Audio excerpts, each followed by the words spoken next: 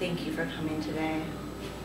I'm here to offer the advice to the next generation of healers from a very experienced healer. First step, if you're going to be a massage therapist, you need to dress the part. You have to look professional, but you can be a little funky, okay? So like if you have big earrings or something, clients like that because they like feel like by getting massaged by a funky person, they're getting funkier. So like if they're like an engineer and they're really bored in job, they like are really jealous of your job and they think that they're getting the funkiness from you. It's really cool. But you also want to show them that you're like spiritual because like people like that, especially white people. So it's good to have like like I have this necklace and it's I don't know if you can see it's a hand and it like resembles henna and, and people go nuts over like anything that's not white culture. So this is great because it looks like I'm spiritual and uh, I have healing hands, and I, that's really important to me. And and uh, henna, white people love it, and white people will be most of your clients because they have money to spend on silly shit. You don't want to be too revealing. If you, I know I just gave a like nice boob shot, but usually you want to have conservative clothing so that when you lean over, you're not showing your breast to everyone. Some people you want to show your breast to, but like you never know who's gonna come in your door and it could be like this old creepy man and you're like, fuck, why did I wear this shirt? Because I was gonna see my boobs and you gotta worry about pulling your shirt down all the time. So it's just best not to. Okay, so first we'll have to meet a client and the client comes in and stop now. Have a seat right here. Hey, yeah. Hi. How are you? You always want the plant to sit below you so they know that they're inferior. And they like that too. They like to know that you're like in charge, you know what you're doing. So do you have any um, like nasty infections I should know about or parasites or like Um, well, no I don't. Um, Okay. I did have a yeast infection um, a couple weeks ago, but I went to the doctor and uh, he gave me something for it. So, it's cleared up? yeah. Okay. Is it like spreading out down on your legs or was it mostly contained to the vaginal area? It was mostly contained um, inside the vaginal area. Good, good. So, We won't be massaging it. I hope that's okay. uh, really? Because when I called, I. Well, maybe for a couple extra bucks, I don't know. We'll, we'll see, right? Okay. So um, this is a good chance to look at your client too and just get a general feel of like how attracted you are to them, if this is going to be nerve wracking for you, or if you're grossed out by them, and prepare yourself mentally for such things. So I'm feeling pretty good. Let's do it. All right. All right. So I'm going to step out. You can undress, get on this top sheet, face down, Okay. All the way undressed. Okay. Okay. Don't be a pussy. Oh, Take off your underwear and your so bra. I can't wear my bra. All right. What about my socks? You. I Oh, guess wait, if you want, if you socks. want everyone to talk about you after you leave, then you don't have to take off your socks. But we are gonna talk. Okay. It's your choice. It's your choice. I always like to give clients a choice, so you know, whatever you're comfortable with. Um, we will talk. what if I'm on my period? Can I keep my underwear on? Yeah, you best because I'm not trying to have like some bloodstained sheets. All right, have on, girl. I'll be back. I'll give you some privacy. All right. Recording. So, once your client's in, the first touch is the most important. It calms them down, and if you feel like you have one of these like spiritual people who are like all into like, I don't know, like chakras and shit, what you can do that will really impress them is just breathe. It's so easy. And it'll increase your tip. All you have to do is breathe loudly, and they love it. So you just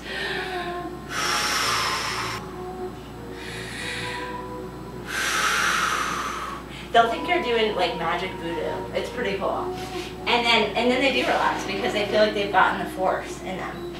So you start, I like to start by like warming up the body.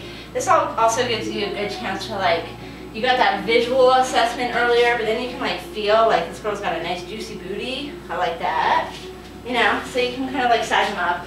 Or you know, some people don't always have such awesome booties. Like sometimes you get these dudes that like, their butt like, just like goes straight. It's like their back and their legs just kind of like go together. Like there is no in between area. But fortunately, that's not what's happening here. Okay, so we warm up. Pull out the sheet. Now, we'll get lotion. This is like a holster. It makes me feel like a cowboy. And it also is a great place to put your lotion so you're not always like, ah, where did I put my lotion? I can't find it. This lotion is freaking awesome. It's massage lotion. It's special. If you live with a man, hide it because men will use anything in the house to masturbate with and they will eventually find this lube, or well, this lotion, massage lotion, and it is by far like the best thing to jack off with apparently. And then they'll use it all, and then you have to be like, it's expensive, stop, just use the Walgreens lotion. But they, they're like hooked on it, and then you find it by like the computer all the time because they've been looking at porn, and then next thing you know, your fucking lotion's gone. So hide the lotion. Now, if you work for someone else, or even if you work for yourself, you gotta listen to this shitty ass music. It's like Enya, it's like Celtic crap, it's like pan flutes, it's like stuff that they play in like Chinese restaurants. Um, it's really fucking like grating. It's like the shit you like would commit suicide to. So like, if at all possible, it helps me to like imagine my own music in my own head, and then you can like jam out because like you're totally listening to like Public Enemy or like Donna Summers, you know, or like whatever, the Misfits, you know, and so that makes it way better. On the music tip, if you're like really jamming out to the song in your head, okay, like lately I've been really into that Fame song, and you like really feel the urge to dance, which totally happens. Okay, the best time to do such things are when they're face down, okay, because they can't see you, but don't forget, they can see underneath the face cradle. Okay, so you they're watching your feet. They're looking at your feet, okay? That's one reason to make your feet look pretty. Second, oh, that's also a good reason to be barefoot because they like to, it goes with the whole creative, funky type. They're like, oh my god, she's barefoot. Like, I wish I had a job where I was barefoot. Okay, but also when you get the urge to dance, okay, you don't want to dance here because they can see your feet, don't know you're dancing, okay? If you go over here, they can't see your feet now anymore. Okay, so you can be like, Fame, I wanna live forever. I wanna learn how to fly, fly. I feel it coming together. People will see me and die. And they won't know. They will not know. You can't sing like that. But you can like totally work into a massage and they won't know at all. Not in front of the face cradle. They'll see your feet moving, they'll know you're doing a jig, they won't be happy. You have to at all times make the client think that you're thinking about nothing but them, okay? You also, people will complain to you a lot because they're like in pain supposedly. It really helps. You might think that people who come to massage are interested in being healthy. Nothing is further from the truth. People come to massage want you to tell them how fucked up they are. They want you to be like, this is the worst back I've ever seen. How do you deal with this? Oh my God, you poor thing. They want that.